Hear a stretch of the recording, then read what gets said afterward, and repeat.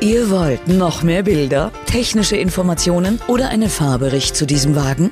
Dann schaut jetzt auf unsere Website. Euer Internetblog, wenn es um das Thema Tuning und Styling am Auto geht. www.tuningblog.eu. Wir freuen uns auf euren Besuch.